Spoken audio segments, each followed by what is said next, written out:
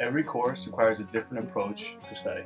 Try to keep as healthy as you can, try to work out, try to eat healthily, and you'll feel a lot better, and your academics will definitely improve as well. Learn to say no. Test drive your classes and get to know your professors before the drop date. Don't be afraid to ask for help. Knowing that I don't know everything. Don't compare yourself to others. Learn to use the library and all the resources available to you. Take chances and challenge yourself. Don't buy textbooks before the first week of classes. Seek advice and build positive relationships with your colleagues.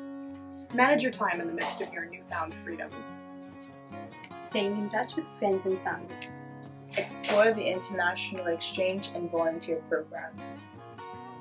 If you don't like your program, change it. Every course requires a different approach to study. If you made a mistake, admit you were wrong and grow from that. Starting a job in the first semester of your first year may be overdoing it. Don't let your grades define your success. Explore new things and take a random class. Don't underestimate your workload. Don't do all your readings at once. It's all about balance.